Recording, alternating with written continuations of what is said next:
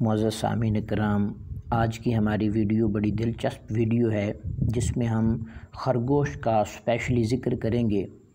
खरगोश जो है, ये एक ऐसा जानवर है, जो बकरी के छोटे बच्चे के मुशाबे होता है। खरगोश के दोनों हाथ छोटे और पैर लंबे होते हैं। ज़राफ़ा जो है, वो खरगोश के बिल्कुल बरक्स होता है। ज़राफ़े की आगे वाली जो टांगें हैं, वो बड़ी होती हैं खरगोश की। छोटी होती हैं और ज़राफ़े की पीछे वाली टांगें छोटी होती हैं और खरगोश की पीछे वाली टांगें जो हैं वो बड़ी होती हैं। खरगोश का जो लफ्ज़ है, ये दोनों के लिए इस्तेमाल होता है मुजक्र के लिए भी और मोनस के लिए भी। नर खरगोश और मादा खरगोश की अलग अलग ख़ासियत हैं। नर खरगोश की एक किस्म ऐसी होती है कि उसके जिस्म के एक हिस्से में हड्डी और दूसरे हिस्से में गोश्त का पट होता है। चुनाचे ये किस्म जो है, लूमड़ी के अंदर भी पाई जाती है। बस अवत यूँ होता है कि मादा खरगोश अपने नर से ख़ुद ब खुद जुफ्ती करने लगती है, क्योंकि उसमें शहवत का काफ़ी जो है वो गलबा पाया जाता है, नीज़। मादा खरगोश जो है, हालत हमल के अंदर भी वो अपने नर से जुफ्ती कर सकती है। इसी तरह इस जानवर की एक ख़ासियत ये भी है कि ये जानवर जो है, यानी खरगोश जो है, एक साल नर रहता है और दूसरे साल मादा बन जाता है। ये अल्लाह ताला की कुदरत का एक मज़हर है कि एक जानवर जो एक साल नर रहता है और दूसरे साल जो है वो मादा बन जाता है। इमाम इबन असीर जो हैं, छः सौ तेरह हिजरी में इस बात का ज़िक्र किया उन्होंने कि मेरे एक दोस्त ने खरगोश का शिकार किया। जब उसने उस खरगोश को गौर से देखा तो मालूम हुआ कि उसमें उज़व मखसूस भी है और एक शर्मगाह भी है। चुनानचे फिर लोगों ने जब उसका पेट चाक करके मुआयना किया तो दोनों चीज़ों को मौजूद होने की, दोनों चीज़ों के मौजूद होने की वजूहत जो हैं वो मौजूद थी। इबन असीर ने इससे भी एक ताज्जुब खेज़ दूसरा वाक़ नकल किया कि हमारे एक पड़ोसी की लड़की थी, जिसका नाम सफ़िया था। जब उसकी उम्र 25 साल की हुई तो उसके मर्दाना उज़व मखसूस निकल आया। फिर उसके बाद उसके दाढ़ी के बाल भी निकल आए। चुनाचे उसमें दोनों जिनसों के उज़व उज़व मखसूस जो हैं वो जमा हो गए। इस तरह की चीज़ें जो हैं, वो होती रहती हैं। ये मिसाल के तौर पर उन्होंने इमाम इबन असीर ने इसका ज़िक्र किया है। खरगोश की खसूसियत ये है कि वो आँखें खोल कर सोता है। जब शिकारी आता है तो उसकी आँखें खुली हुई देखकर ये महसूस करता है कि वो जाग रहा है। तो वो वापस चला जाता है। खरगोश के बारे में ये भी मशहूर है कि जब ये दरिया देखता है तो मर जाता है। चनाचे इसीलिए अक्सर दरिया के किनारे ये पाए जाते हैं। इमाम दमीरी रहमतुल्लाह ताला ने इस बात की तरदीद भी अपने तौर पर की है। और अरब का ये नज़रिया है कि खरगोश जो हैं उनसे जिन्नात जो हैं वो दूर रहते हैं। खरगोश का शरी हुक्म क्या है? तमाम उलमाए कराम के नज़दीक खरगोश का गोश्त खाना जो है, ये हलाल है। हज़रत अनस बिन मालिक रदी अल्लाह तु इस बात को बयान करते हैं कि हमने मकाम मर्रोज़हरान में शिकार के लिए हम जा रहे थे तो एक खरगोश हमने देखा और उसका हमने तकुब किया। चनानचे हज़रत अनस बिन मालिक कहते हैं कि मैंने दौड़ कर उसको पकड़ लिया, फिर उसको अबू तलहा के पास ले आया। अबू तलहा रदी अल्लाह ने उसको ज़बह किया और उसका एक सुरीन और दोनों रानें रसूलुल्लाह सल्लल्लाहु अलैहि वसल्लम के पास भेजी।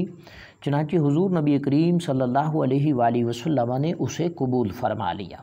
हजीज हदीस मुबारक से ये बात रोज़ रोशन की तरह यहाँ होती है कि खरगोश खाना जो है ये जायज़ है, इस हदीस मुबारक को इमाम बुखारी ने और इमाम मुस्लिम ने और इमाम तिरमज़ी रहमतुल्लाहि ताला ने खसूसी तौर पर अपनी अपनी कुतुब में ज़िक्र फरमाया। खरगोश का गोश्त खाना जो है, ये हलाल है, जायज़ है क्योंकि सरकार दो आलम सल्लल्लाहु ने इस खरगोश को तनावुल फरमाया।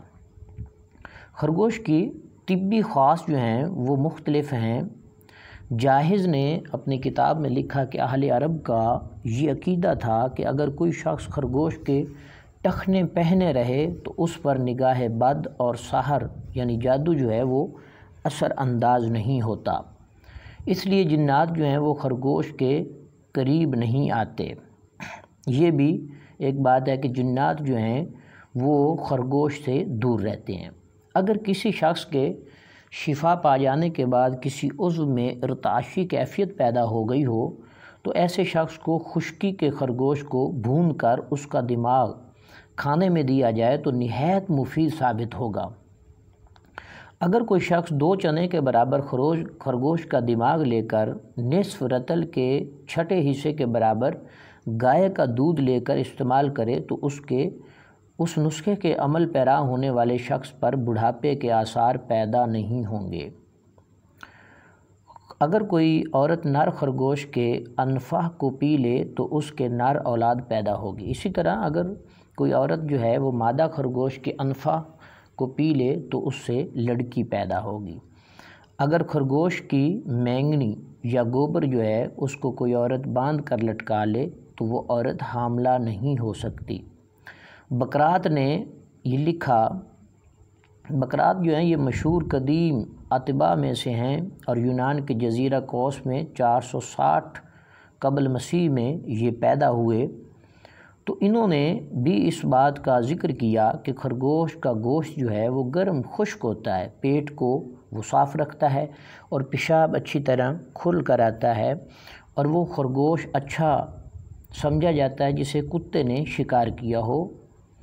तो ये मोटापे के लिए भी इजतराबी हालत में नफ़ा बख्श होता है। खरगोश के बहुत सारे तिब्बी जो हैं, फ़ायद हैं। उनमें से एक ये भी है कि अगर खरगोश का दिमाग भून कर फल फल यानी स्याह मिर्च के साथ मिलाकर खाया जाए तो राशा के लिए ये मुफीद है। बाज़ खरगोश का गोश्त खुश्क होता है, इसलिए कि उन्हें चरने के लिए ऐसी जगह छोड़ दिया जाता है जहाँ पानी में घास, फूस वगैरह रहती है, जिससे उनके गोश्त में खुश्की पैदा हो जाती है। बनस्बत उन खरगोशों के जिनको घर ही में चराया गया हो। इमाम कजवीनी जो हैं, वो एक नुस्खा लिखते हैं कि अगर एक दानिक खरगोश के दिमाग में दो चने कफूर मिलाकर किसी को पिला दिया जाए तो जो भी इस शख्स को देखेगा तो वो मोहब्बत करने लगेगा और अगर कोई औरत उसे देख लेगी तो वो आशिक हो जाएगी, यहाँ तक कि एक साथ रहने के लिए मुतालबा करेगी। खरगोश का खून अगर कोई औरत नोश कर ले तो वो कभी भी हामला नहीं हो सकती। इसी तरह अगर उसके खून को सफ़ेद दागों और झाइयों में लगाया जाए तो वो झाइयाँ जो हैं वो ख़त्म हो जाएँगी और सफ़ेद दाग जो हैं वो भी ख़त्म हो जाएँगे। अगर कोई औरत खरगोश के दिमाग को खाकर उसमें से फिर थोड़ा अपनी शर्मगाह में रख ले, बाद में शोहर से सोहबत करे तो वो औरत इन हामला होगी।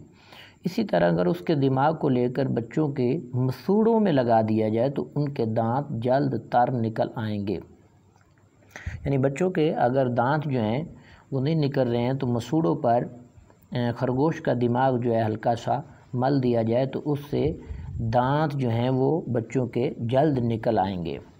अगर कोई शख्स खरगोश के खून का सुरमा आँखों में लगाए तो उसकी आँखों में किसी किस्म के बाल नहीं आएँगे। अगर खरगोश के पित्ते को घी और औरत के दूध में मिलाकर बतौर सुरमा इस्तेमाल करें तो उससे आँखों के फूले और दीगर ज़ख्मों से निजात मिल जाती है। खरगोश के खून को जिस्म के काले दागों में लगाया जाए तो इससे भी इसकी शिकायत जो है वो दूर हो जाती है।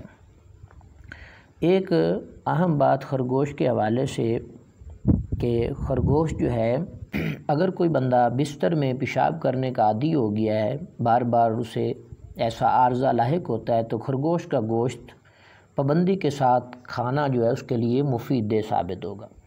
अरस्तु ने भी खरगोश के हवाले से लिखा कि अगर खरगोश के पनीर माया को सिरके में मिलाकर नोश किया जाए तो सांप के जहर के लिए ये मुफीद अमल है।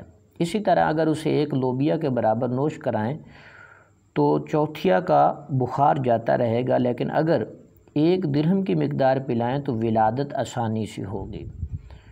इसी तरह अगर उसके पनीर माया को ख़त्मी में मिलाकर ज़ख़म पर रख दिया जाए तो जिसमें कील वगैरह फंस गए हों तो वो कील इन जल्द तर निकल जाएगा।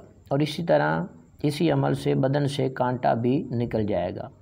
अगर खरगोश के गोबर को हमाम यानी गसल खाने में धुनी दे दें तो फिर जो भी उसे सूंघेगा तो उससे गूज निकलेगी।